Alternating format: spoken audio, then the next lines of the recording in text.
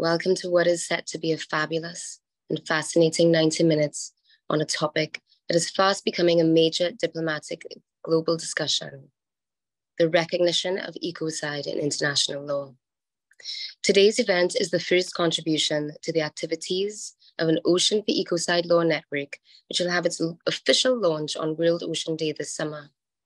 First, a little housekeeping. We have a wonderful range of speakers to fit into the time that we have. And so rather than a live Q&A at the end, we anticipate some panel reflections while the team will be responding to Q&A via our keyboards. We therefore warmly invite questions to be put via the Q&A function at the bottom of your Zoom screen, where these can be clearly replied to. And also feel free to upvote questions so we can address them in priority order. Please do not use the chat for functions, but do say hello and say where you are tuning in from. Our speakers are beaming in from the globe, from all around the globe, and we imagine our audiences too. So let me begin by introducing myself as I'll be moderating today's event for you. I'm Caroline Mair-Toby. Um, I am the Chief Empowerment Officer for She Changes Climate. I am also the founding director for the Institute for Small Islands. And I'm a lawyer with Mair and Company and Legal Response International, who has been advising small islands and developing countries um, for about 10 years. Hello, Antoinette. I just saw your face there. For about 10 years at the UNFCCC negotiations. So, why is eco law, ecocide law exciting for you?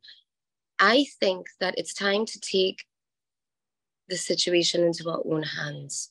I think that we can't rely on big businesses and big governments anymore. And I think it's time for us the people of the earth to stand up and say what is right for us.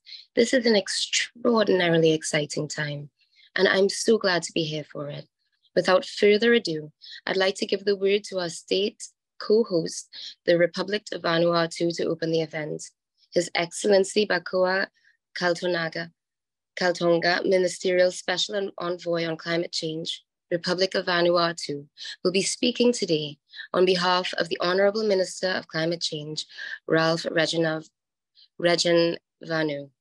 The Honorable Minister is currently located on one of the outer islands of Vanuatu, which has been just been hit by a, cat, a devastating category four cyclone, as I'm sure you will understand, was unable to join us today. And let's just take a moment and remember this is why we're here. This is why we're here. Welcome, Your Excellency. My name is Bakoa Kaltonga, and I am the uh, Ministerial Special Envoy uh, for Climate Change of the Government of the Republic of Vanuatu. Uh, and I'm here speaking on behalf of the Honorable Ralph Vanu, Minister of Climate Change, who apparently is stuck in one of the outer islands of Vanuatu after uh, the uh, destruction uh, winds of cyclone uh, category 4 cyclone uh, Judy. Uh, and we hope he's fine and we pray for his safety. And the communications are down. And uh, there's another category cyclone following the same path after all the disruption that has been caused uh, in the next 48 hours. So there's no more important time to speak about oceans and climate change than now for the Republic of Vanuatu. So you will appreciate the uh, uh, the damage that's been caused by the cyclones, and that, that's including the coral reefs uh, who have been uh, decimated, bleached, uh, the seagrass and the mangroves destroyed, and uh, a number of you know marine habitats destroyed. the food, food, the deprivation of food, and the destruction of food. And uh, as you can see, it's a major uh, humanitarian disaster for us. So there is no better time to speak about uh, the oceans and its destruction and, the climate change uh, uh, uh, than now when, when, when we were experiencing it firsthand and, and facing the problems ourselves. And this is the time for people to act, and Vanuatu is taking the lead to criminalize the sorts of uh, irresponsible actions that are destroying the climate change and the oceans And uh, we need to all to join in the effort to fight uh, fight the, the, the, injustice that uh, is being uh, done by people who are harming the, the, environment and the oceans. So Vanuatu is leading the way in the International Criminal Court of Justice by uh, putting together a resolution to ask the question on states' uh, obligations as to uh, climate change. And uh, we have uh, put forward a resolution to the Union, United Nations General Assembly, which I am glad to announce that uh, 105 countries have co-sponsored, which would enable the resolution to be passed in the UNJ on for the opportunity for Vanuatu and uh, the other global nations of the world to put the question to the International Court of Justice to obtain a decision so as to enable states uh, to honor their obligations on the amount of contributions they make to the climate change crisis.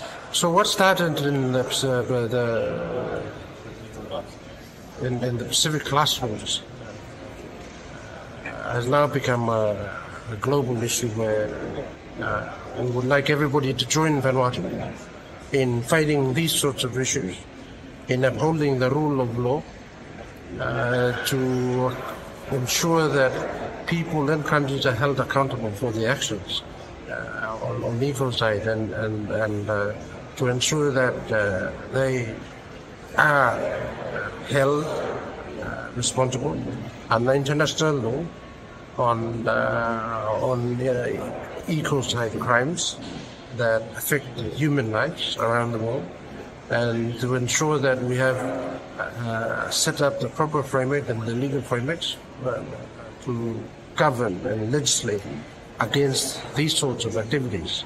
And uh, this is the only way for us to countries who have suffered from the climate change crisis, who have contributed less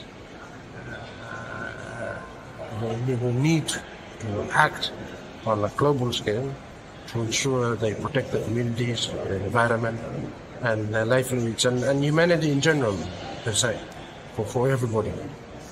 So there is no time to waste. Join Vanuatu in its fight for ecocide and fight for climate justice to ensure a better environment, a better world for us to live in. Thank you very much. God bless you. That is just wonderful. Thank you so much, Your Excellency.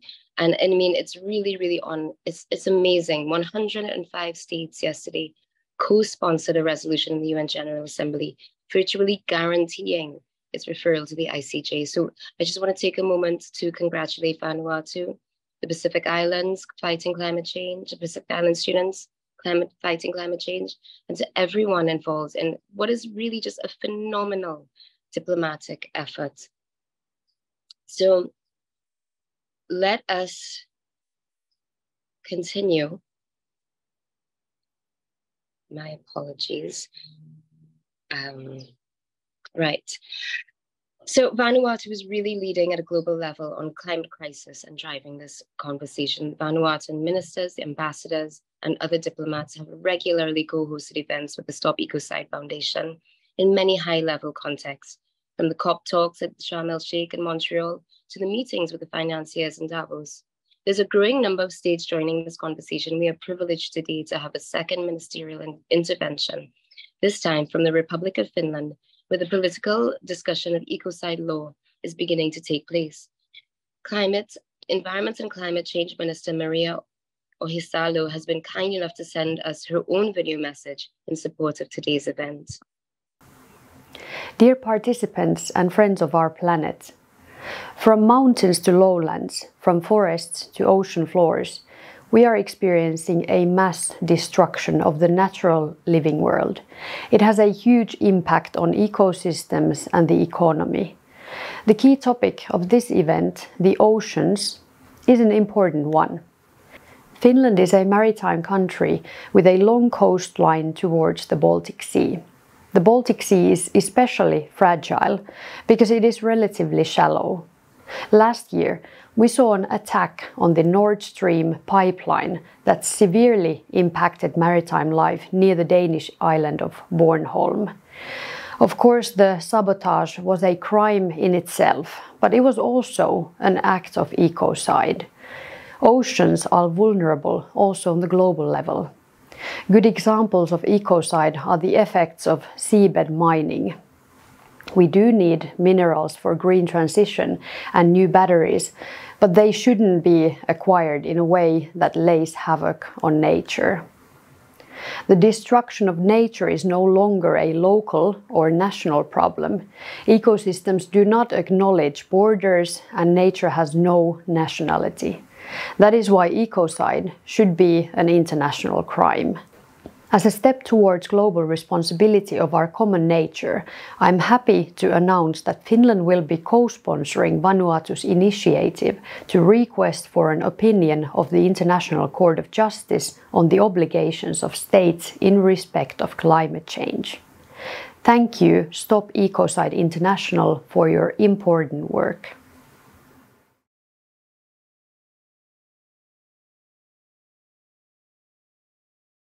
Thank you. Thank you so much. That was just wonderful. And from my maritime country, my island of Trinidad and Tobago, I thank you for your leadership. That is just wonderful. So that was the Environment and Climate Change Minister of the Republic of Finland, Maria Ohisalo. So thank you very much, Minister. Now, our first panelist for today will give us the broad background and the rationale behind um, I'm going to continue like you can hear me, but I've frozen on my end. So let me know if you can't hear me. Right. Um, now, our first panelist today will give us the broad background and rationale, wonderful, behind the fast-growing initiative to criminalize ecocide and provide a sense of the current state of play. Jojo Mehta co-founded Stop Ecocide in 2017 alongside legal pioneer the late Polly Higgins, to support making severe harm to nature an international crime. I apologize if you can hear my children behind me. As key spokesperson and executive director of Stop Ecocide International, Jojo has overseen the remarkable growth of the global movement while coordinating legal developments, diplomatic traction, and public narrative. She is also chair of the charitable Stop Ecocide Foundation, co-hosting today, and convener of the independent expert panel for the legal definition of ecocide, chaired by Philip Sands QC and Dior Fall Sow. Jojo, tell us, first of all, welcome. What is ecocide? Why is it so important to know about the approach of this law? And what can we expect over the course of the coming year? Over to you, Jojo. Thank you so much.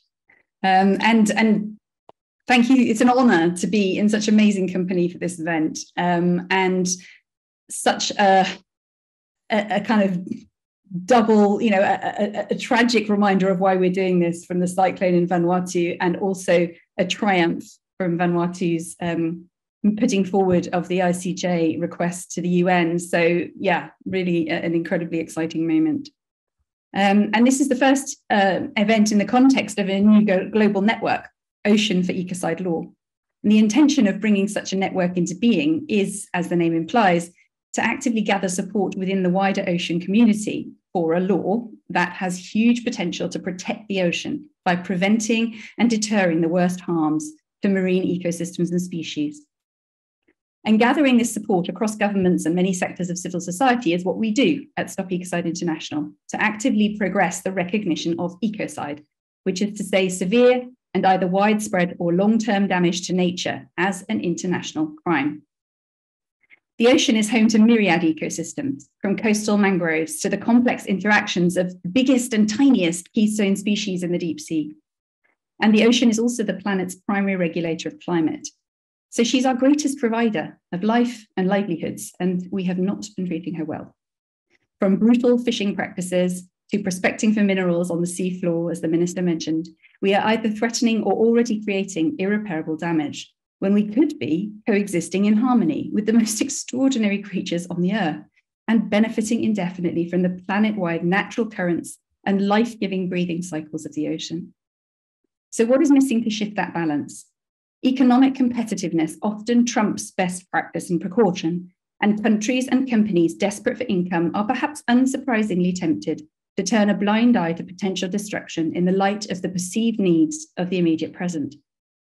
The fact that this attitude arises all too frequently signals maybe not so much a class of supervillains as a simple truth that we all know in our hearts that the globally dominant culture of extraction without thought to the consequences, of treating the living world simultaneously as an infinite bank of resources and a planet sized trash can, it has reproduced itself to a point that is critically unsustainable.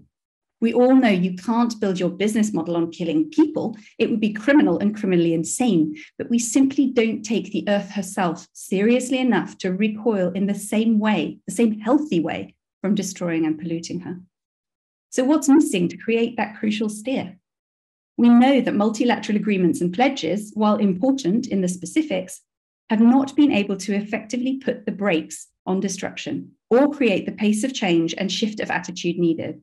And this is where criminal law, and specifically the recognition of ecocide at the international level, can make a profound difference by drawing a moral and legal red line that extends beyond and across jurisdictional boundaries. The true function of criminal law is protective. Murder isn't a crime in order to punish murderers, it's a crime in order to stop people being killed. In other words, to protect. There is a far greater incentive to adhere to regulations, quotas, and the precautionary principle, far greater incentive to engage in the right kind of due diligence and indeed to explore strategic positive change when failing to do so could lead into the territory of international crime. And while ecocide law is still a relatively new concept in the public mind, it is already an initiative that is gathering rapid momentum at the diplomatic level. In 2019, no governments were known to be talking about it, and Vanuatu spoke out first at the International Criminal Court. Now, at least 26 countries have discussion of criminalizing ecocide on public record, at parliament level or government level, via government statements, parliamentary petitions, full proposals of law, and more. In November 2020, our foundation convened a panel of 12 top lawyers from around the world to spend six months drafting a legal definition of ecocide. And the core text they reached consensus on in June 2021 was the following Ecocide means unlawful or wanton acts committed with knowledge that there's a substantial likelihood of severe and either widespread or long term damage to the environment being caused by those acts. This definition doesn't specifically target any particular industry. Instead, it addresses the level of harm or hazard, whatever the activity, and it applies to individuals in positions of superior responsibility, creating a clear steer at the highest levels of government and industry exactly where it's most useful. It acknowledges that a large proportion of destructive practices are already unlawful, breaches of regulation, breaches of rights frameworks, and so on or that they are wantonly, disproportionately destructive. And this definition has landed well in the political world as it sanctions the threats of the worst harms while acknowledging and strengthening existing laws, which may vary between jurisdictions. And while drawing directly on legal language familiar from previous international treaties, it is also clearly understandable to you and me. And it fits on the back of a business card, which is frankly handy when you're dealing with busy politicians. Indeed, in the 18 months since its launch, this consensus definition has become the de facto starting point for diplomatic and academic discussions worldwide. It's also inspired domestic proposals, most prominently in Belgium, where the government is in the process of legislating nationally. And last year, the conversation arrived at the UN level too. Our foundation was invited to host side events and run pavilions at a number of UN conferences, including the Climate COP27 in Sharm el Sheikh, Biodiversity COP15 in Montreal, and alongside the economic meetings in Davos. There is already a small group of states informally working together to progress discussion of adding ecocide to the list of crimes addressed at the International Criminal Court, and it's being led by our long-standing ally and the co-host today, the Republic of Vanuatu. And there is another advantage to this concise definition. In the hands of anyone who knows their own sector, it stimulates questions. It provides a lens through which people can look to ask, what does my sector need to do in the light of this approaching law? And these are precisely the questions that need to be asked, to stimulate positive change. So there is a readiness, indeed an appetite, both for creating accountability at the highest level and for framing what we need to change. And over the course of this year, we're going to see a growing momentum, both in at the diplomatic level and at the level of different sectors of society. And the Ocean for Ecocide Law Network can be a key part of that. We very much hope you'll join us. Thank you so much and we're really looking forward to the rest of today's discussion. Thank you so much, Jojo. We can no doubt already begin to see why ocean protection could be significantly strengthened with this law.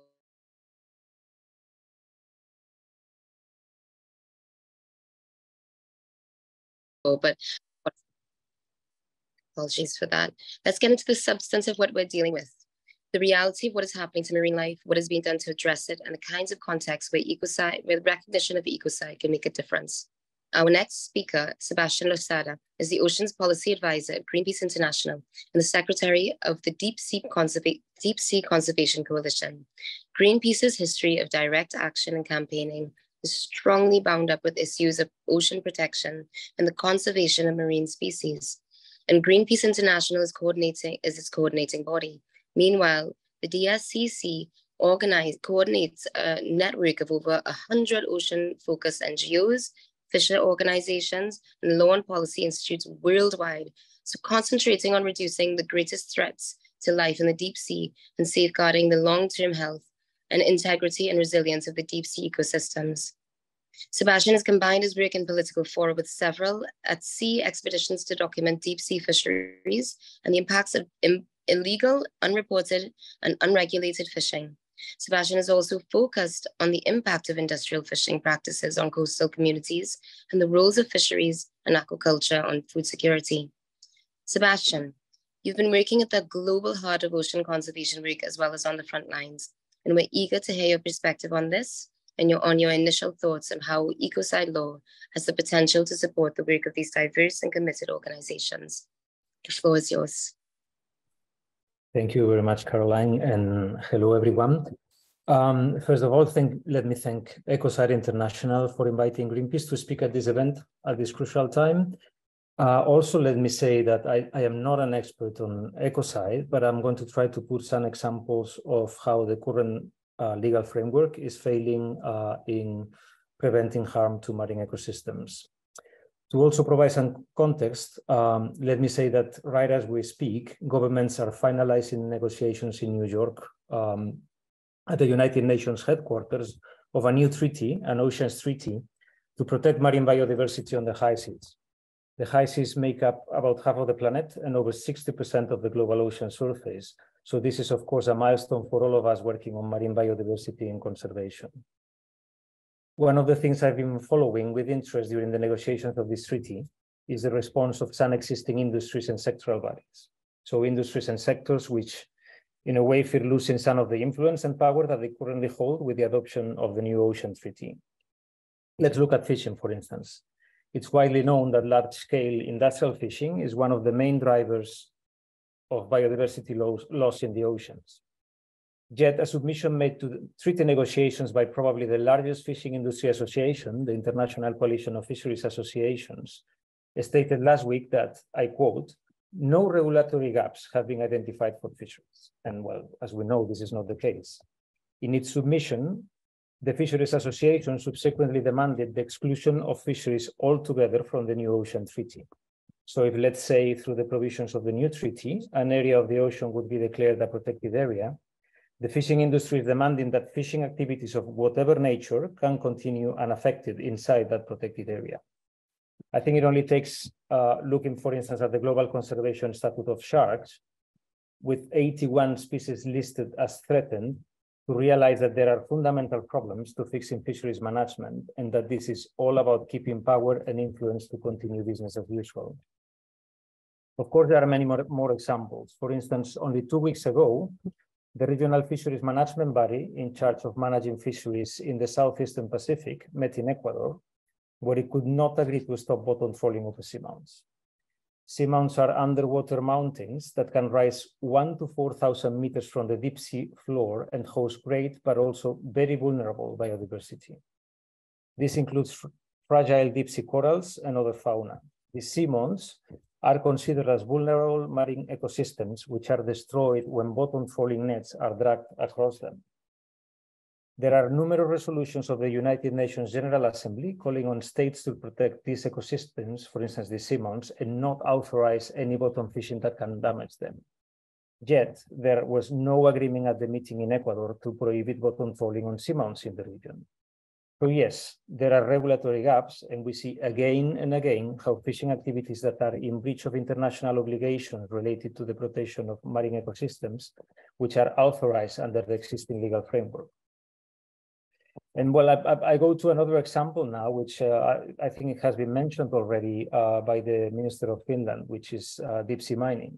And problem is that something uh, similar is very likely to happen, and this activity may become the newest threat to global marine biodiversity. And I'm, I'm talking about deep sea mining in the international areas of the world's oceans. For those who haven't heard of it, the global demand, the global demand for minerals, which is partly expected to grow as a result of the transition to green energy and transport systems, is now being used as a justification to start commercial mining operations in the deep ocean, three, four kilometers beneath the surface. Without getting into detail, one of the most notable examples is what, what are called polymetallic nodules. And these are dark potato-shaped nodules that have been formed over the course of millions of years in the vast and deep abyssal plains of the world's oceans. These nodules are rich in manganese, nickel, cobalt, and other metals, which are, for instance, demanded in batteries that are expected to uh, be very much needed for the energy transition. But mining uh, these nodules will come at a huge cost to marine ecosystems. Scientists are warning that it's not possible to mine these ecosystems without irreversible biodiversity loss. And here we're talking about extinctions, potentially of species that haven't even been identified yet by scientists. Every time there's a deep ocean research expedition, new species are discovered, species which have evolved completely isolated from other regions and could be lost forever. There are far too many unknowns about deep sea ecosystems. We know the deep ocean holds amazing biodiversity, yet it is very vulnerable. We know it's one of the largest carbon sinks on the planet, which mining operations could impact. To give an idea of the scale uh, of the activity we're talking about, the area of seafloor habitat impacted to mine nodules in the Pacific alone would be of some 1.5 million square kilometers, which is more or less the combined, area, combined area of Spain, Portugal, France, Belgium, and Germany. Legally speaking, the law of the sea mandates all states to effectively protect the marine environment from harmful effects. Yet at the same time, the law of the sea regime created an international body, the International Seabed Authority, which is charged with managing the extraction of minerals from the deep sea and its structure and mandate is such that it makes it very difficult to prevent mining in favor of ecosystem conservation. Something which I think is also remarkable from the legal point of view is that the mineral resources that will be exploited in international waters are considered to be common heritage of humankind, meaning that they would they should only be exploited if, if their extraction benefits humankind as a whole. Leaving aside that looking at profits from mining would ignore the many benefits that the conservation of the deep ocean provides to the planet, we are seeing yet again a handful of corporations based in the global north as the one that stand to benefit from this rush to mine the deep ocean. Going back to my initial point, which was about the way in which some of these industries and sectoral bodies are trying to prevent that the new ocean treaty has excessive influence over the current status quo, the International Seabed Authority Secretary General is also this week in New York. And he's saying that his mandate already includes taking measures for the protection of the marine environment as a whole. And that, I quote, it is essential that in the haste to seek to manage particular components of the marine environment, we fully respect the rights and jurisdictions carefully elaborated by the law of the sea. And the way I translate this is we don't want the new treaty to interfere with deep sea mining act activities. Currently, the NGO community working in oceans conservation is campaigning strongly to stop mining activities in the deep ocean before commercial mining actually starts. But there is a very strong inst institutional architecture and legal framework which is designed to facilitate mining. I'll finish saying that, of course, we're hoping to the strongest for the strongest possible ocean treaty out of New York this week, and with a couple of comments linking what I just said with the subject of this seminar, ecocide. First, that as I said, I'm no legal expert, uh, but in looking at the definition of ecocide being put forward by the independent expert panel, I would believe some that some fishing activities and certainly deep sea mining would fit the definition of wanton acts, as well as severe, widespread, and long-term damage. And secondly, I try to show how the existing legal, legal regime is not managing to prevent activities that cause or would cause serious harm to the marine environment. But ecocide law could add to the tools we have to try to prevent further damage to the world's marine ecosystems as well as their recovery and can become an enforceable and international criminal law deterrent to prevent damage caused by these activities. Thank you very much.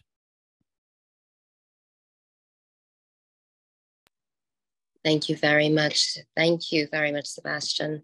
And thank you for sharing that information on seamounts and the deep sea mining of nodules. I, I knew about the nodules, but I did not know so much about seamounts. So that is, you know, thank you for exposing the regulatory gaps that are in effect authorizing this horrific act of ecocide to happen. So let's let's move to a different perspective now. So the the move to criminalize ecocide has many indigenous voices behind including worldwide networks of traditional leaders and chiefs. And the Alliance of Mothers Nature's Guardians called for the recognition of ecocide in this declaration at the time of the Paris Agreement in 2015. The Mother Earth delegation of the United Original Nations added more voices in 2020. Indigenous input was specifically included in the drafting process for the legal definition.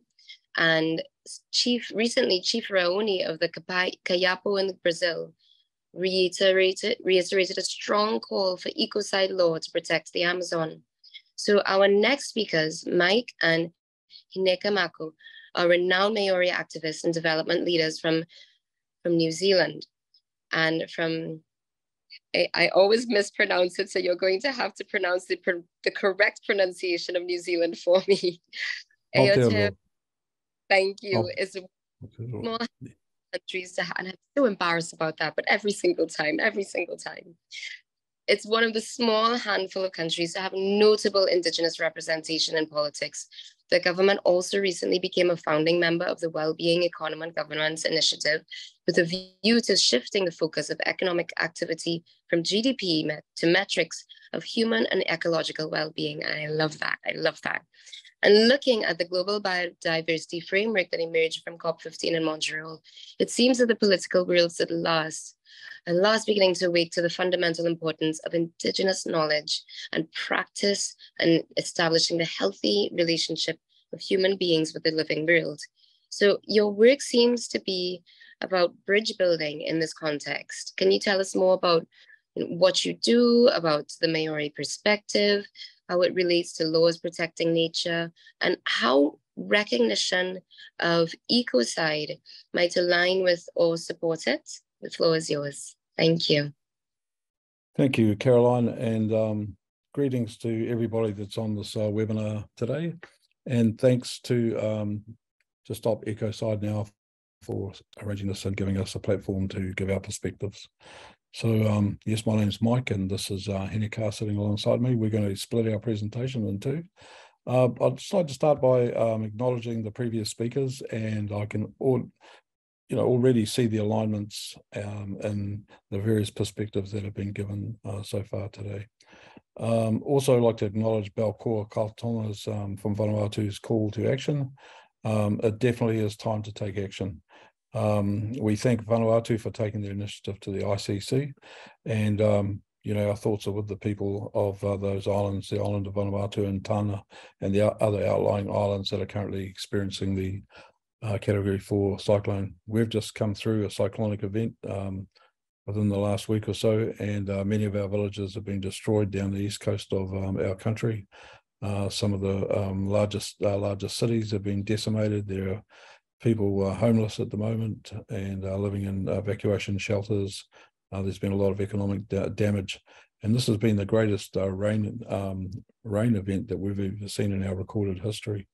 Uh, and so um, climate change is real and it's uh, and it's happening to us all uh, here at the bottom of the Pacific. Um, the cyclone cyclones are generated up around Vanuatu in the South Coral Sea due to the warming of the water, as we'd be aware, which powers the winds, which generates the cyclones that sweep across the islands of the Pacific. So um, these are, you know, and we're all all of our countries are experiencing uh, various extreme weather events. So, so we join with you in solidarity to, um, you know, to struggle against the uh, the extractive industries that are at the root of this problem. But however, back to your question in terms of the Maori worldview, um, I'm going to show you a quick video that we've put together, which um, explains our, um, our our view on the world and where we sit within it. So I'm just going to share my screen with you now and play this.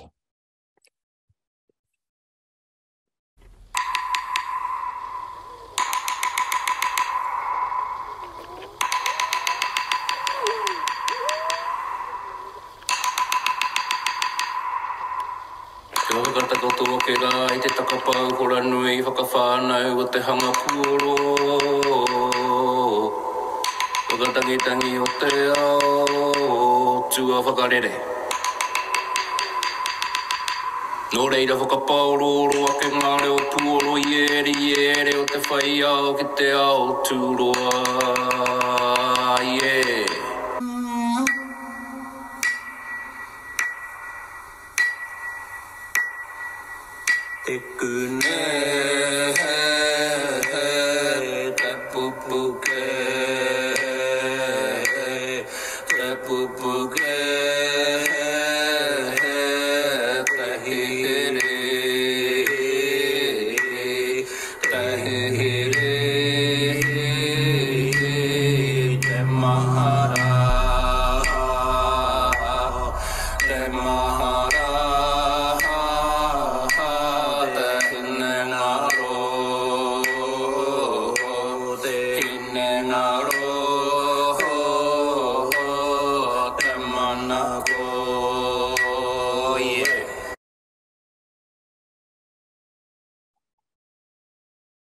Um, the last image that you see there is um, our territory, which is the Pacific Ocean.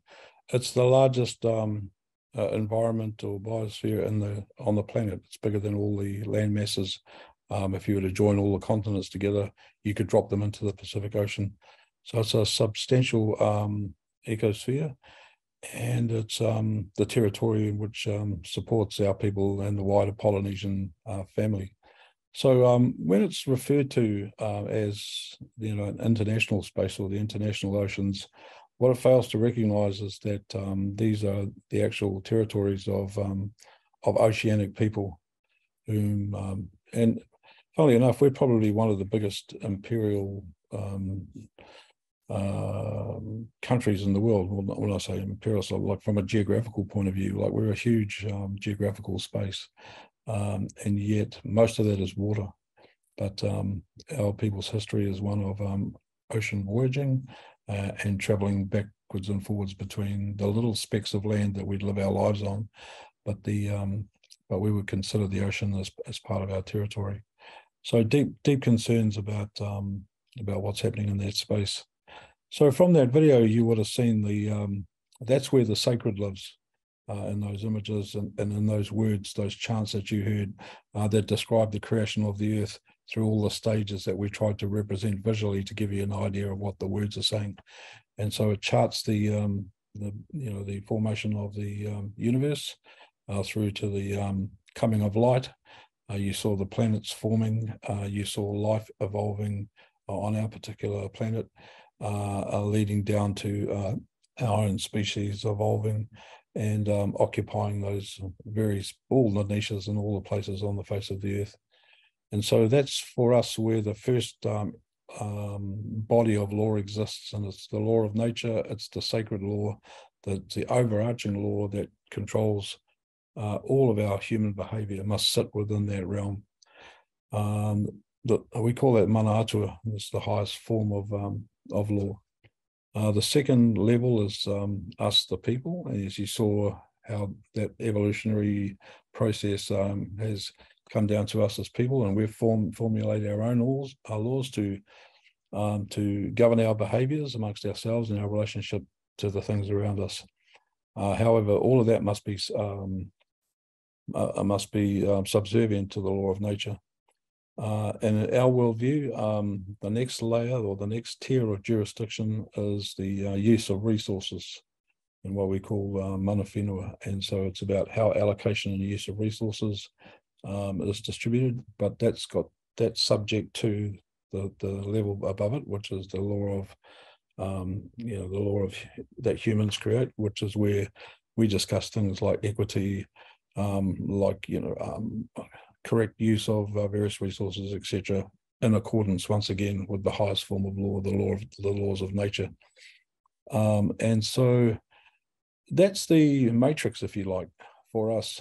Unfortunately, the Western uh, concepts have inverted that, and so you have the the law of uh, economics as being one of the major drivers, you know, in this um, uh, current extractive economy that all of us are suffering from. So it's the law of, and Jojo uh, just described that quite eloquently in her talk, how the um, the laws of um, the the economic um, drivers um, put a lot of pressure on the political um, legal uh, system or the governance systems that we've created for ourselves and the, the, relationship to the sacred which is the highest level for us well what's happened to that and as we all know that's just been somewhat pushed out and uh, marginalized and ignored and so the relationship that we have um, in the building bridges i don't know if we're trying to build bridges i think we're trying to uh, flip the script you know and um, we are working towards the restoration of what we believe is a universal human uh, framework. And that when we look at other Indigenous peoples and we meet with them from time to time, we share this commonality. We look at the peoples of Europe, and if you go back far enough in their histories beyond um, imperialism um, and um, and nation states, back to the origins of the of the peoples of the world, you will find these um, these sentiments exist. It seems to be a universal truth that we somehow along the way we've lost. Uh, and so, yeah, so we're trying to um, invert that framework. But I'm now going to um, pass over to uh, and she's going to uh, take the conversation a bit further. So thank you. Pacific greetings to everybody. It is very early morning here on the 3rd of the 3rd. Um, a significant day for the call for global climate action. So support what Mike said in support of everybody taking action to protect our world. Um, if you don't mind, I'm going to read my notes because it's quite a, a broad uh, area to, to cover um, uh, to answer the question that you raised about Māori perspectives and how it relates to the laws protecting nature. I just wanted to introduce myself properly. So Hinekaa Mako, my family name is Mako. Uh, it's my grandfather's name uh, our family, we descend from Te Mako. This is the, the shark. this name reminds us of our relationship to the ocean, to the moana. And as a family, we are bound to that memory uh, in our name and our relationship, recognition of the great ocean of Kiwa, another name for the Pacific Ocean, uh, where our voyaging fleets full of Pacific Island ancestors sailed back and forth to Aotearoa. Aotearoa is the, translated as land of the long white cloud. Um, Ao is one of our words for cloud. And it's that low cloud that sits directly above islands. and is generated by the moisture rising and the energy off the land. That reflection uh, of the sunlight back down onto the land and coastlines effectively bathe islands in a glowing light. So I would like to describe Aotearoa as meaning was long, as the translation should be land of the long cloud of glowing light. Um, and celebrating Māori names of what we call ourselves, what's reflected in our art and our cultural references and philosophical frameworks that reflects that orientation within our world and our connection to our environment in a family way, in a familial way. We all introduce ourselves, many of us, um, to our tribal homelands, and we recall the waka, the ancient voyaging vessels that came to Aotearoa from the Pacific Islands.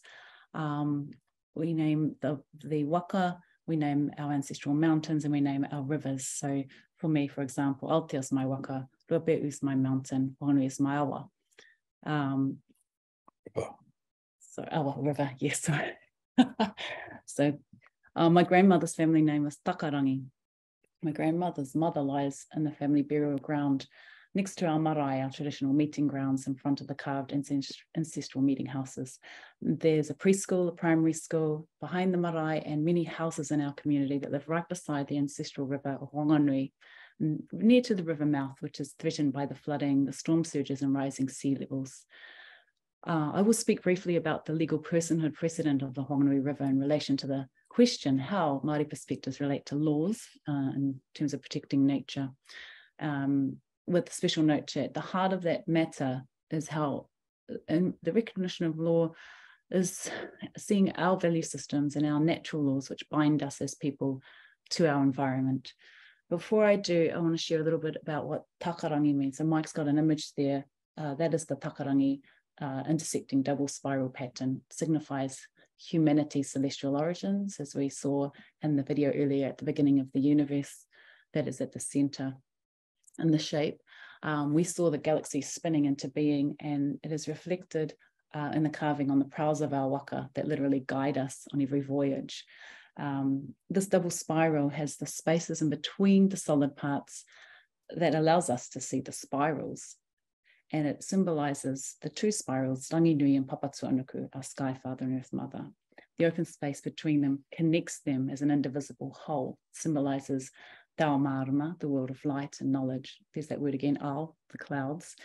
Uh, essentially, it's our atmosphere. So this concept of an indivisible whole is embedded in Te Awa Tupua. That's the framework which underpins the legal personhood of Whanganui, the, the awa, and our people of Whanganui. It represents a move towards restorative justice and sustainable practices for healthy waters. So for more than a century, the laws, the regulations and actions of the justice system of the, the, the Crown government here broke our river into parts.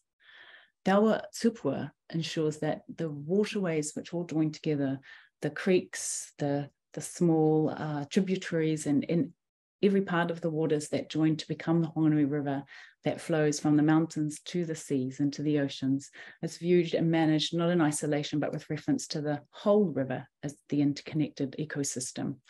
To Whanganui people, our river is a living being, an indivisible whole. All the tributaries, as I mentioned, and the physical and metaphysical elements that bind us. Te Awa Tupua recognises the set of Indigenous values that reflect an innate relationship of the river and the people, and the people as guardians and protectors of the river. Uh, quite famous now across our lands is the phrase ko ko te awa I'm the river, the river is me. That's been extended out to I am the mountain, the mountain is me. I am Aotearoa, Aotearoa is me. But the whole phrase starts with e re ko mai te awa nui, ki ngā maunga ki Tangaroa, that the river flows constantly from the mountains to the sea. Therefore, I am the river, the river is me.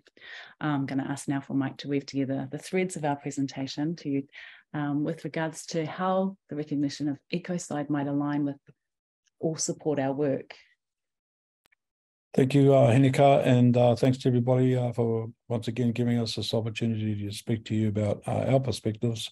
Um, as I mentioned at the start, um, uh, already I can see the alignments philosophically uh, in terms of our understanding of our place within nature and um, the the need to defend it at this time. Um, this is not an abstract thing. That this is not a lifestyle choice. it's a choice about um, getting away from the culture of death which we have developed um, around us and we are now reaping the rewards of and returning uh, into that world of light that Hinekaa describes, where we live with balance uh, with our fellow creatures and um, that we understand that our interests as humans are inextricably bound uh, to their well-being as well. So um, thanks very much for being the good people that you are and for pursuing this um, this um, struggle. As Seneca said, today is the 3rd of March over here, so we've got the um, climate strike. So we leave this uh, webinar and we go onto the streets with uh, with our young people to um, to demonstrate, um, you know, uh, our opposition to the extractive economy and, and the policies that support that. So thank you very much. I want to say also thank you. Thank you for creating the mechanisms which can enforce um, our world perspectives in our environment um, and our protection of that. Thank you. That was beautiful. Thank you. Thank you so much. Thank you, Mike. Thank you, Hinekaa.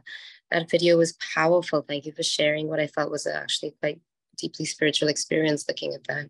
And thank you, Hinekaa, for elaborating how the beautiful relationship between the river and the sea, the river and the people is seen as understood and felt and lived.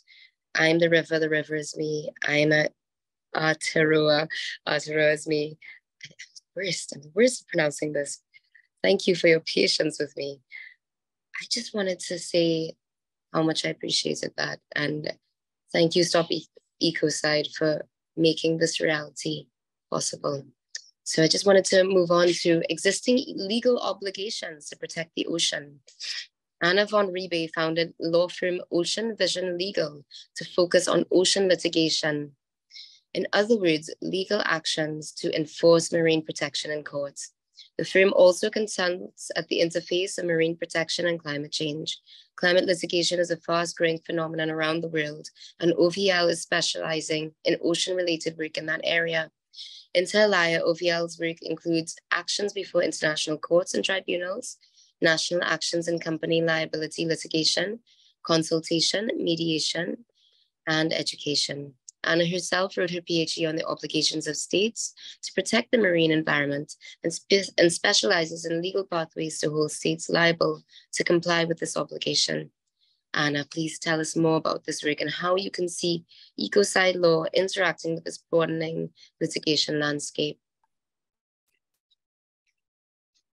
Thank you, Caroline, for this wonderful introduction. And thank you so much for all the speakers so far for these insights. Once again, it's such a humbling experience also to understand how the law can maybe give a framework, but the real content is the nature. And what we really need to remember is our connection and our connection to the nature. Well, I was asked to contribute to this um, workshop from the legal perspective, though. So when thinking about it, I asked myself, what does ecocide mean to me as a lawyer? As a lawyer who founded a law firm for um, marine protection, what does ecocide mean for me in, that, uh, in this regard?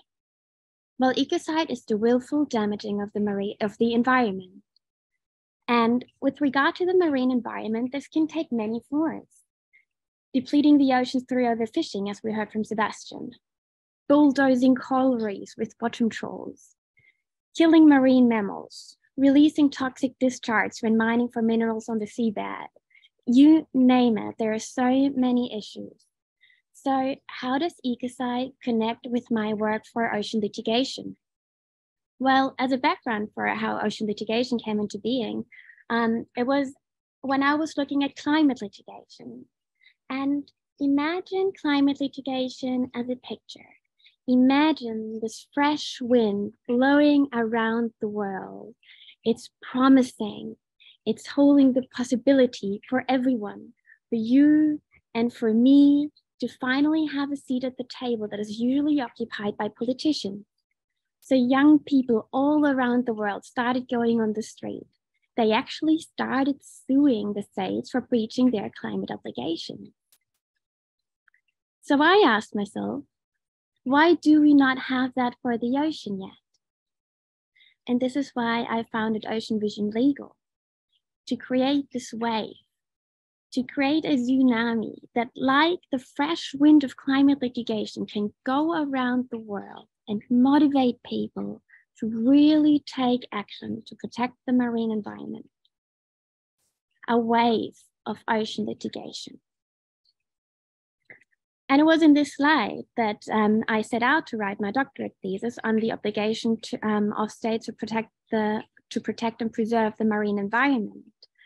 And having had a lot of experience in litigation before, I structured the whole work as a case to really then be able to later use it to manifest this obligation in courts. So the obligation to protect the marine environment like the ocean, is not secluded. It's an ecosystem. It connects with many other branches of law. We've just heard from Mike about the rights of natures, and we will be hearing about it more. Um, or a human right to clean and healthy environment, or ecocide. So ecocide is the willful damaging of the environment. And the Stop Ecocide movement aims to get ecocide recognized as the fifth crime under the Rome Statute, so it gets prosecutable before the International Criminal Court. The four other crimes that are recognized under the Rome Statute so far, from a legal perspective, have one thing in common. They are all peremptory norms of international law. Peremptory norms of international law are laws from which no derogation is allowed. They are also called jus cogens. They are the highest protected laws that we have in international law because states are bound by them and they are not allowed to derogate, them. So strengthening the obligation to protect the marine environment as a jus cogens regulation is a first step and can be a prerequisite for ecocide to be acknowledged as a crime under the Rome Statute. So the obligation to protect the marine environment and ecocide are very closely related. Furthermore, looking at that from a perspective as the litigation lawyers, recognizing ecocide brings so many benefits. In international law, for example, only states can be sued. International law regulates the relationship between states, so only states can be sued. Before the International Criminal Court, however, also individuals can be prosecuted if, when it gets recognized, they willfully harm the environment. So when thinking of all the whalers out there and you know all the people harming the environment, this can make such a difference.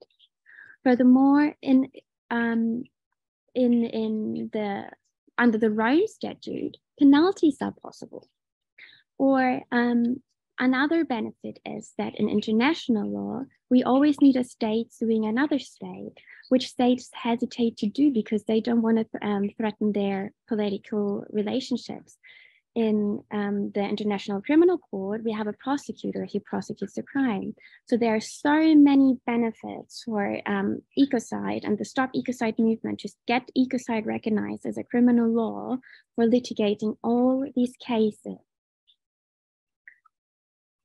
The work that we do on the cases um, in Ocean Vision Legal um, are all dedicated to strengthen the obligation to protect the marine environment.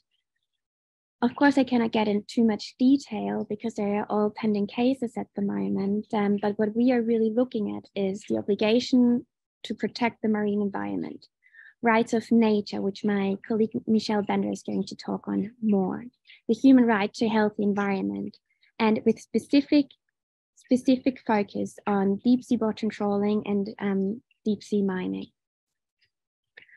So when taking a breath and looking at that and looking at 2023, the third year of the ocean decade, to me, this year really holds the potential for this wave of ocean litigation to take off. And I really couldn't be more excited to support the Stop Ecocide movement through my work and really help help it to take off. And so thank you, Jojo, for this initiative, and thank you everyone for participating in this really important movement.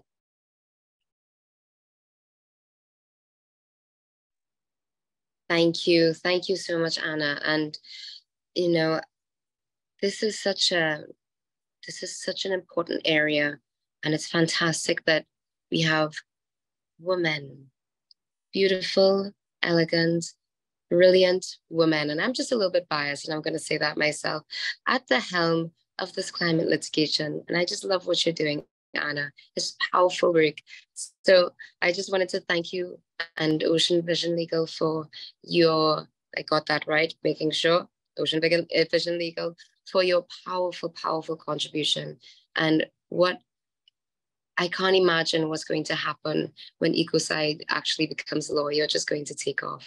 So we now come to Dana Ahmed, youth spokesperson, take off even more than you are taking off right now, I should say. We now come to Dana Ahmed, youth spokesperson and Arctic Angel, committed to protecting our global commons as part of a female-led intergenerational network coordinated by the NGO Global Choices. The Arctic Angels have a particular focus on the ice crisis, the rapid melting on the polar ice caps.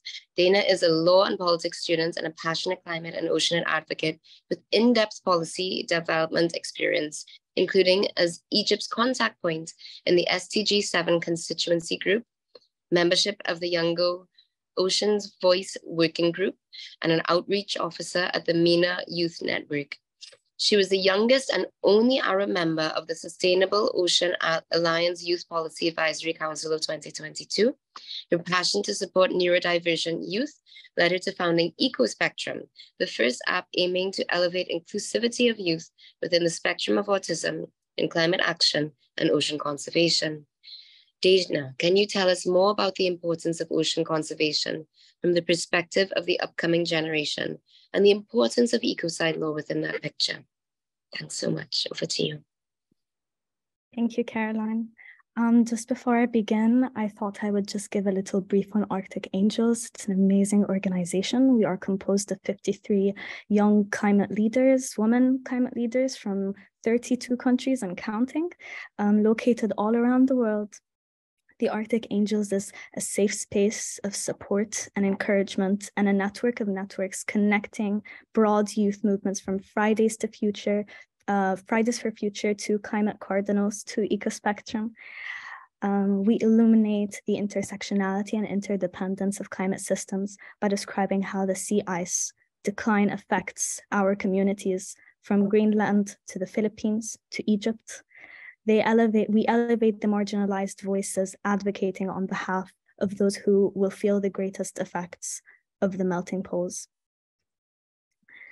Now, starting with the role of the youth in this crisis. The youth has now been the driving force in climate action for the past decade, uh, working with the most vulnerable communities that include our own to help save ours, our children, and our home's future. From working tirelessly, organizing and taking part in protests, to instituting research bodies that study the primary sources of the ocean and ice crisis that ultimately robs us from pursuing our cultural practices that rely on protecting our oceans and protecting the Arctic ice shield. Currently, the youth working on our oceans are concerned with the biggest threat, or arguably the biggest threat, our oceans are facing today, which is deep seabed mining, and for nation states to listen to our concerns and science backed research on the need for moratoriums on the Arctic ice shield that regulates our weather and the balance of temperatures of our oceans that is required for the marine ecosystems that my livelihood and my family's livelihood, and I'm sure many livelihoods rely on. Um, and yet, those people that are the most impacted are still not granted the sphere to communicate our shared struggles. Speaking as an Egyptian woman, a state uh, that is currently one of the countries that produces the most single use plastic in the world, with an estimate of 12 billion unrecyclable single use plastic waste released into our oceans, affecting our food and water sources. Our, our weather, which our Nile and Red Sea is regulating, has now affected children going to schools, agricultural land that feeds most of our civilians, that now most of it has become infertile, and thus urging the most underprivileged communities to abandon their homes, amongst all the other struggles that they are going through just to be able to feed their families. And our community and our continuing economic fall that is now making our ability to recover from the most catastrophic impacts of climate change, which we deal with as a global South country, financially paralyzed. Yet, we have bodies that control states' regulations on our Arctic ice shield and ocean crisis, pushing, continuing to, to push away the voices of the most affected. But most knowledgeable communities from communicating solutions that our ancestors lived and survived on, that we currently are pushing away. What is currently happening in my region, the Middle East, is the continuous urbanization and growth of unsustainable forms of trade and transportation via our seas. Our precious seas and oceans are at risk. The Red Sea, which is our most crucial bodies of water, is now unfortunately releasing 220,000 tons of naturally occurring hydrocarbon gases annually. Youth has been the driving force of climate action for the past five years. And yet, we have now become the community that is losing hope and unable to contribute to the uh, regulations that are put in place that do not address our shared struggles. We have been pushed to the side in the ocean sphere, especially in the biggest issues, which is deep seabed mining and the ice crisis that have the most catastrophic impacts on our livelihoods and future. And yet, in the coming decades, ship traffic through the Red Sea and through other ocean bodies and the Suez Canal that the, that the economy of Egyptian uh, authorities rely on is expected to continue to increase strongly with a commitment rise in nitrogen oxide emissions, which the increase will amplify the role of the source, leading to significant deterioration of the regional air quality across the globe, not just in Egypt. The ISA as the guardian of the area and its resources, should never lose sight of the fact that the resources of the seabed has explicitly been designed by UNCLOS as the common heritage of humankind. The principle of common heritage of, of mankind stipulates that the area and its resources can only be used for peaceful purposes, but that is not the case. It cannot be appropriated by a state or any other entity, and the exploration of the area and its resources that must benefit all of humankind. The concept of humankind invokes intergenerational solidarity, meaning that the benefits of managing the seabed and its resources should be felt by both the present generations and those still to come. As of now, SDG 14, which is life below water, is the least funded SDG and our Arctic crisis is almost unheard in my region, despite its catastrophic and irreversible impact that will have on our future. Amidst the chaos of understanding the systems that control such detrimental processes, which are supported by many governments in my region, the youth has not stopped being the piggy bank in this conversation. We have ceased to become those that do not understand the language spoken by our executive bodies, such as the ISA or national jurisdictions. We cannot take up that role anymore. We know, we hear, we understand, we bear the consequences, but have no choice but to continue doing so amidst the loss of our youth years, futures, and childhood. To date, 653 marine science and policy experts from over 44 countries have signed the Marine Expert Statement calling for a pause to deep sea mining. Support for deep sea mining directly contradicts a global trend towards preserving and restoring biodiversity and combating the climate crisis. We need the 10 year moratorium on the Central Arctic Ocean ice shield, which would work in tandem with ecocide law to ensure protection of the Arctic sea ice. Less than 5% of the deep sea has been discovered, and the youth will not be standing on the side, aiding the irreversible damage that may potentially pass via regulatory bodies that will kill the world of our ancestors in their decade living homes. There is no other option. We also need greater facilitation and engagement of all stakeholders at the ISA, including civil society, with an emphasis on intergenerational engagement through improving transparency and communication, and through the following recommendations. Implement more public consultation mechanisms, create an independent environmental commission to formalize the criteria for adequate base, baseline data, as well as standard for sampling methodology. Share the standardized data with the global community and making it available to the public and decision makers and not continuing to be behind closed doors. As a law student, I'm personally growing to learn every day about how ecocide law is the only option to resolve such issues.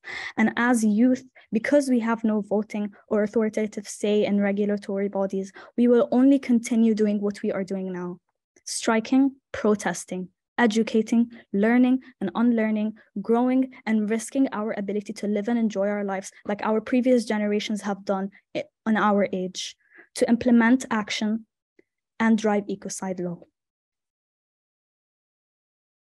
A call to action now for me is for everyone watching this um, stream, I urge you to educate, raise awareness on your corner of people it is very, very hard to, as, as someone who is a member of the youth, as an Egyptian woman with my country struggling and suffering so much, especially our most impacted communities, the underprivileged communities, such as the communities in Sohag and Said and Alexandria. It is so disheartening thinking that there is no way to save the world. It's too big, it's too complex, it's too hard and we have no voice or we have no authoritative power into actually actioning any uh, any decisions or have any impact on our government. But the way to resolve this is to focus on your corner of people. Every single one of us in this call and beyond have the corner of people that we have influence and impact on. I urge you to learn, to read, and educate that corner of body that you have power and impact and influence on. And together, we can globally save our oceans, marine ecosystems, and Arctic life. Thank you.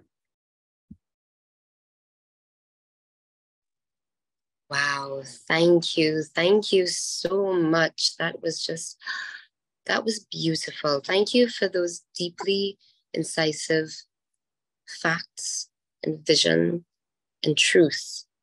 It has been sobering hearing these facts from one so young, I have to admit.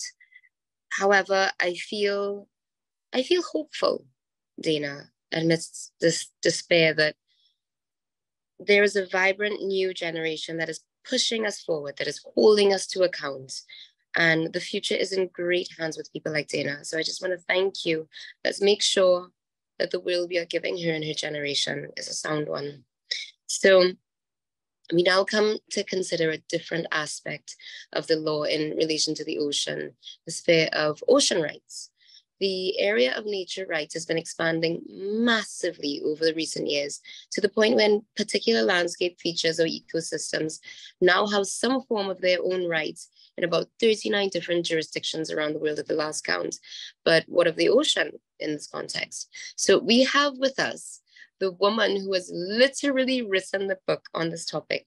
Michelle Bender is Ocean Campaigns Director at the Earth Law Center as well as founder and creator of the Ocean Rights Framework, spearheading an innovative and paradigm shifting solution to our ocean management challenges through a legal lens.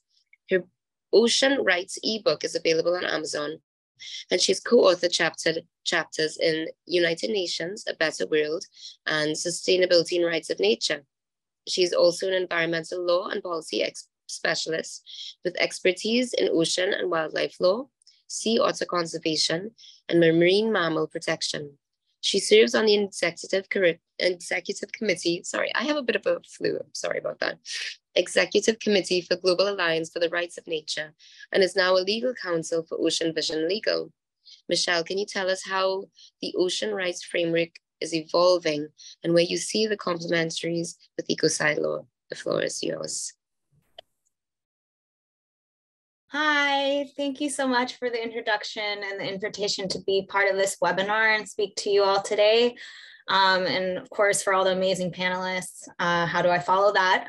But I just want to uh, start by saying I'm joining you today from outside Seattle, Washington, in the traditional lands and waters of the Coast Salish peoples.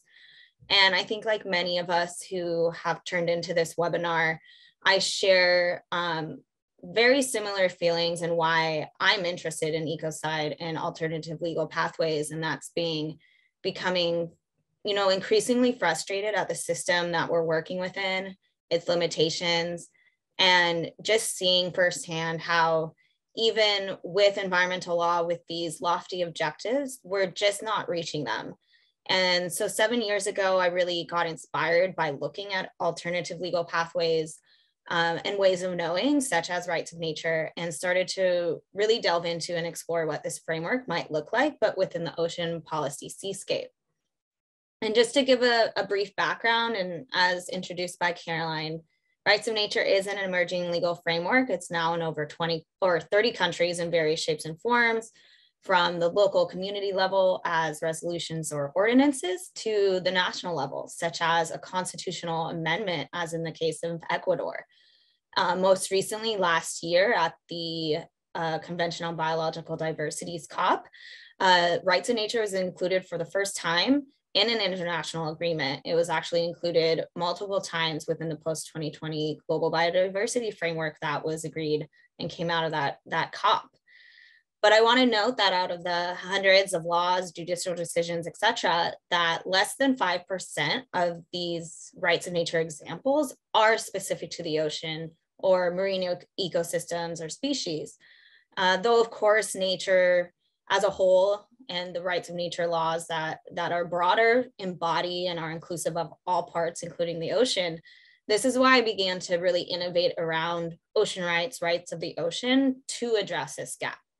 And I started looking at the application of this approach first in the context of marine protected areas and, and really looking and being inspired by how rivers and national parks around the world are now designated as legal entities or legal persons, uh, such as the example of Te Awa Tupua Act in Aotearoa that my fellow panelists introduced. So I began to really explore how this could look like uh, in the context of marine ecosystems. And speaking of our ocean, we actually worked with our partner, the Leatherback Project and the government of Panama to draft the newest national rights of nature law, which was signed by the president last year and just went into effect at the end of last month. And we are now focusing on implementation in the ocean space working on a new marine reserve in the Pearl Islands and looking at how to respect the rights of sea turtles and reef inhabitants in the in marine ecosystems. And last year we launched an initiative with the Ocean Race, which has now gained the support of governments, including Cabo Verde, Monaco, Seychelles, and others, to advance principles underpinning ocean rights through a Universal Declaration of Ocean Rights or similar. So rights of nature is very much like it sounds. It's a recognition of a right relationship with nature that humankind is a part of and not separate from the rest of the living environment. And we have our responsibilities on behalf of present and future generations to ensure that our activities does not affect uh, the ability for future generations to thrive. Another note and just realization within this framework is that human rights, human livelihood is dependent upon the realization of nature's rights because we cannot realize our rights. We cannot have our jobs, our food without a healthy environment to support that. And so within this framework, nature is now beginning to be seen as something as other than a resource, other than a pro, uh, an object for human benefit and utility as valued for itself with intrinsic worth. And rights of nature is not just a legal change in that sense. I want to just speak, you know, why rights? You know, simply put, rights are a statement of societal values. So, what we think is owed more protection or has value that needs to be respected. And by recognizing nature has inherent rights purely for existing, we're able to start shifting those worldviews, those underlying values and ethics that create our legal governance and economic systems. We protect what we value. We've seen this time and time again, which is why I really feel like Rights to Nature is really a, a, a leader in a, in a solution to truly achieve systemic and transformative change. And I want to just highlight one example of how this is looking like in practice as not only an application of ocean rights, but also just to show some similarities with ecocide. And I mentioned Ecuador. Uh, in, in 2008, Ecuador amended their constitution to recognize the rights of nature and gave all citizens the right to defend and protect those rights, allowing full representation of nature in decision making and disputes. The constitution explicitly states that nature or Pachamama where life is reproduced and occurs, has the right to integral respect for its existence and for the maintenance and regeneration of its life cycles, structures, functions, and evolutionary processes. Nature also has the right to be restored, and this is seen as separate from the obligation of states to compensate individuals and communities affected by environmental damage. So we're in Ecuador, we've seen actually over 30 court cases and being brought in the name of nature, and many of them have been successful. Uh, and I want to just highlight one. There have been quite a few that have been specific to the Galapagos Marine Reserve and the marine space, such as for mangrove ecosystems. And I want to just highlight one case from 2017 where a Chinese fishing vessel, so an international fishing fleet, was found to be in possession of over 6,000 sharks, which are protected by Galapagos law. in and outside the Galapagos Marine Reserve. So a few points I wanna highlight from this judgment. Shark fishing was found to be against the interest of nature. The court recognized that it was the highest duty of the state of Ecuador to guarantee not only the effective enjoyment of human rights, but the rights of nature as well. And the court also noted that as a subject of rights, nature is not only afforded a higher standard of protection, but full reparation from damage done. So not only did the captain and crew, uh, they were given prison time and fined around uh, $6 million actually. Um, and I wanna just really stick to that $6 million uh, for a second, because this is another implementation mechanism that we're, we're starting to really see emerge within the rights of nature movement and it's this shift towards the inclusion of the intrinsic value or the living value of nature and shifting away from our short-sighted economic benefit um, and how we go about cost benefit analysis. So if you look at the average cost or yeah, what you might receive from selling shark fins and, and meat on the market is about $150 USD. And so if you multiply that by 6,000 sharks, you can see that if the court would have ruled in that, you know, traditional outlook and that lens, the amount that they would have fined the crew and the captain would have been much less. But here they really took into account the living value of sharks and how fundamental a live shark is to a healthy ecosystem and to the local tourism of the Galapagos. So much more valuable. This case, it not only marked the first conviction of an environmental crime in the Galapagos, uh, but it set a precedent for prosecuting shark finning and other crimes against nature in Ecuador. So speaking in terms of similarities with, with ecocide, I think this case really demonstrates what and how if ecocide, ecocide is recognized uh, in persecuting severe harm at the international level, what this might look like, but through a local and, and regional lens and context. Similar to, to human rights and their recognition, you know, having a mechanism for persecuting nature's rights at, at the international level, especially in areas beyond national jurisdiction, to me is vital.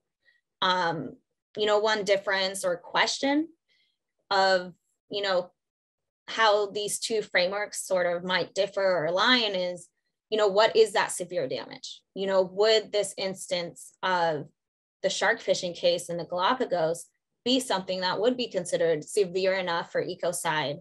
Um, and so in that sense, I do, I do certainly think that both are needed, both are complementary, um, where we can have sort of those, those two sides of the coin uh, with proactive implementation and helping to shift values and worldviews towards the, the international and criminal recognition.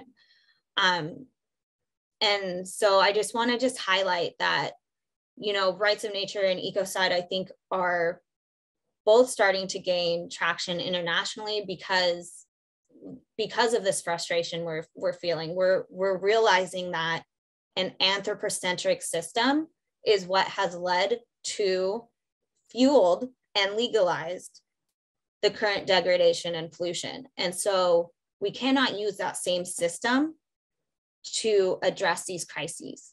And so rights of nature and ecocide, I think are just two very powerful tools that are vital and necessary to really achieve a life in harmony with nature. So with that, thanks again for the opportunity to, to speak with you all today. Thank you for that, Michelle. Thank you for that perspective and that sense that law is evolving with respect to the living world. I'm reminded about what Jojo said earlier about the policy paper flagging up to board of directors, board directors, what they need to be taking into account right now, both rights of nature and ecocide development, ecocide law developments. If we were if we are to address the level of crisis in our oceans and ultimately that all of us face. So um, I just wanted to do a tiny bit of housekeeping. Um, the event recording will be made available on Stop Ecocide website and the YouTube channel, and we will also be sharing it with the 60,000 plus members of our mailing list. So just letting you know. Um, and I think Robin is sharing the um, the mailing list, how the link to join the mailing list. So now we've heard from all of our panels here live with us today, but we have one very special contribution that we have saved till last. And that is a video message from the remarkable Sylvia Earle, who is by now something of a legend in her own lifetime. Sylvia is a marine biologist, an oceanographer, an explorer, an author, a lecturer, a co-founder of Mission Blue, which unites individuals and organizations around the globe to campaign for a worldwide network of marine protected area or HOPE spots. She has been a National Geographic Explorer in residence since 1998, and Sylvia was the first female chief scientist of the US National Oceanic and Atmospheric Administration and was named by the Time magazine as its first hero for the planet in 1998. She's part of the group Ocean Elders dedicated to protecting the ocean and its wildlife. We are so privileged to have today to receive a short video message in support of today's theme, which we will play for you now.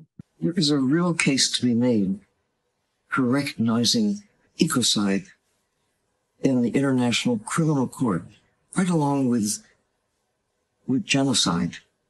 Both are, when you think about it, killing us, killing either directly or by really killing the environment. Killing is killing. And we have to recognize the loss of the ocean, the deep sea, the high seas, life in the ocean affects the lives, the not just the livelihoods, but the life, our existence is on the line. That was amazing. Thank you so much. What a what a wealth of perspectives. I just want to ask everyone to put on your video right now. Um, I also want to pass to um, to Jojo first before we before we put everybody on. Let me just pass to Jojo, um, and I'll I'll ask everybody. Jojo, are you here? here Yes, I am. Sorry, I didn't necessarily mean you just to pass to me. I think we should definitely all put our videos on, um, but we have we have very little time left because um, we just had some amazing um, contributions. So it might just be great for everybody to just think of maybe a thirty second um, kind of comment that they could make um, after that amazing uh, panels. I was hoping that we would have a bit longer, but it's absolutely fine. yeah. Okay. Should I continue or, or, or or we can start. I just wanted to say, you know, that was such a wealth of perspectives in such a short period of time and clear indicators of where we're going and what ways of recognition that ecocide will be of service to ocean protection. So as Jojo said, just very few, very briefly, if we can turn on, you know, our cameras and invite a couple minutes reflection from each of you before we close, very, very, very short. And we've been tracking questions from the audience. So if there's something you really want to say, you know, this is the time.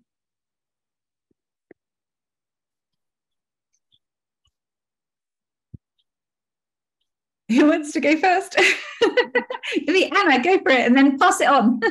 yeah. Um, so what I really want to say is that how touching and amazing it is to speak with people from all the different branches because speaking from the law perspective, I understand the law is the framework, but the content, what we're really doing, it comes from the science. It's the nature out there.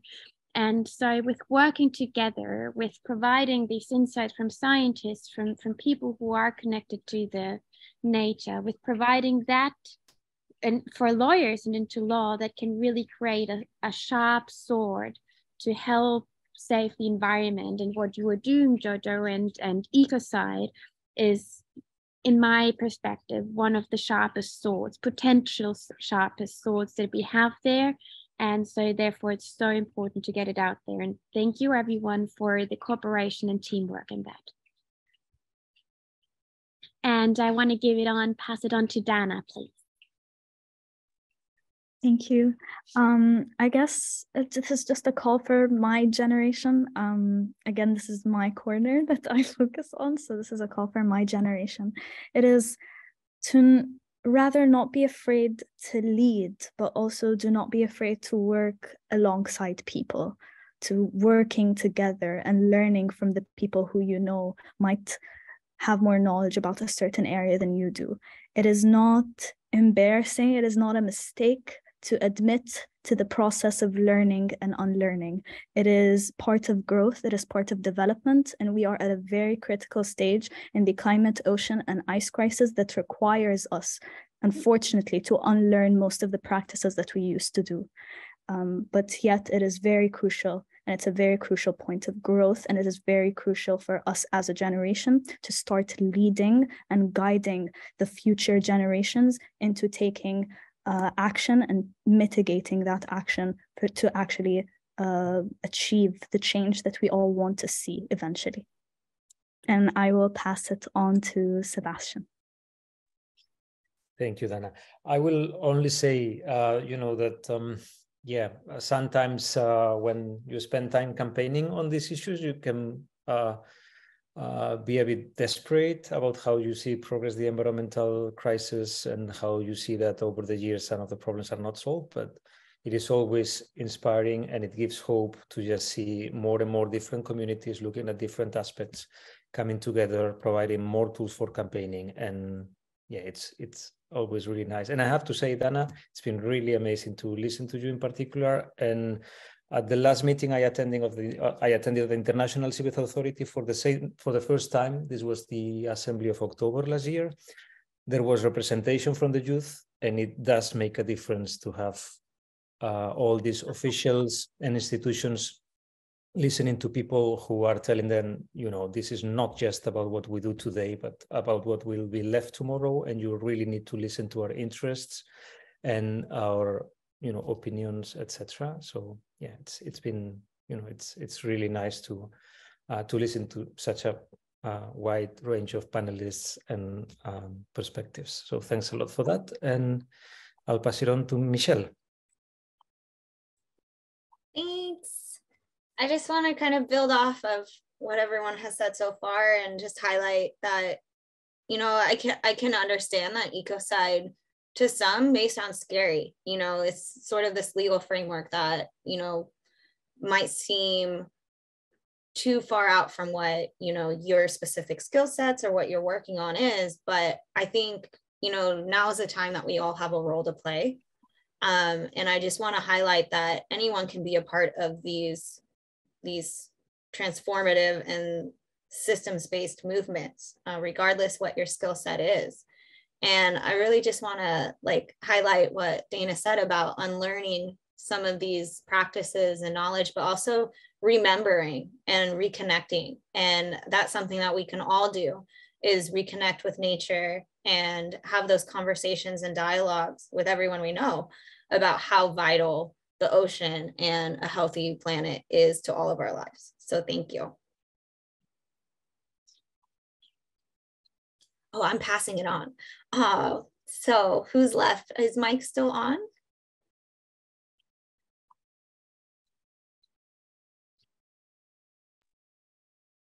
Mike and Hinekaa, are you still there? Maybe not, maybe they're not able to, to join us for a final comment. Um, in which case, I'll just say a couple of things that really sort of resonated with me, if that's all right. Um, firstly yeah really touched by dana's call for you know concrete action in the communities that we can reach. Um, and also really um, really feeling what Hinekaa was um, talking about in terms of the belonging to the land and the and also the way that her she described her family names and about how they related to the to the landscape and to the sea. Um, and I think one of the things that we've, and, and, this also relates to what Michelle was saying about how we value you know we, we protect what we value um, and i think in our sort of western paradigm dominated way of thinking we've got so used to traveling around so fast and every, lots of urbanization that a lot of us don't have a landscape that we feel actually deeply rooted in and deeply care about Um, so that's one of the relearnings that I'd really like to see is people actually finding where it is they do feel rooted and caring about that. Um, and that also speaks to the kind of um, actually there was a, a, question that came into the the q&a around you know what about the resistance of kind of you know economic interests that are sort of in the dark and you know getting on with their machinations and don't want ecocide law? Um, and yes there may be of course um, some of those. But i think um, what's really interesting is that they're not coming out publicly because we're in such a position now globally that there's a comprehension of the crisis that we're in that nobody is going to publicly come out against this because it would be the most dreadful public relations imaginable. Um, you know, when you've spent 20 years greenwashing as an oil and gas company, the last thing you're going to do is publicly say, no, we don't want the ecocide law. Now, what that means is that the talking to our communities, the creation of this community of Oceans for Ecocide Law is super important because the more public and the more widespread this conversation is, the harder it is to resist. We're already in a position where governments are too embarrassed if they don't want to support ecocide to say so outright. They might try and sidestep, but uh, you know we're already at that point, and so that really underlines the importance of what we're doing here with beginning this Oceans for Ecocide Law network. You know, this is not something that competes with what we're each doing; it supports what we're all doing. Um, it's an and and, not an and or. Um, so yeah, so encouraging everybody in the ocean space to come on board to join the Ecocide Ocean for Ecocide Law network um, and to talk about ecocide because when that conversation is broad and loud enough, that's when all politicians feel safe to talk about it um, and to move it forward. So yeah, really, really encourage all of you to do that. There's also an open letter that that can be signed from you know, people who are working with ocean and ocean conservation. And thanks to everybody for God, a really remarkably eye-opening and amazing event. Thank you all so much. And thank you, Caroline, for moderating. Uh, if I may, I just wanted to say um, about from my work, my perspective. I didn't, and just two seconds. I wanted to say, defending Indigenous and environmental defenders, amplifying their voices at the UN level, and also through climate and environmental justice litigation. This is amazing. This is amazing that the world is going this way. We started our thing about three years ago with the Institute for Small Islands. We had to be really quiet about it because previously when we had done work like this, we were threatened, we were cursed. When we approached mining and quarrying, unregulated quarrying in my country, somebody followed my colleague home. It's real on the side And this is an area where, you know, it's not like the Amazon. This is what you're doing for the world is amazing. I just want to thank you, Stop Ecocide, and Jojo and Sarah for the work that you're doing. So bravo to you. And thank you to Mike and Hinekaa, sorry, Anna and Dana and Donna and Michelle and Sebastian for your fantastic, fantastic work on um, on everything that you're doing for coming here today, taking time out of your busy schedules and sharing with us, you know, where the world is going on this on this ecocide path. So thank you very much. Jojo, I didn't mean to cut you in there, but I just wanted to say that before you wrapped up. Thank you. Thanks to all of our audience. Thanks everybody for joining us.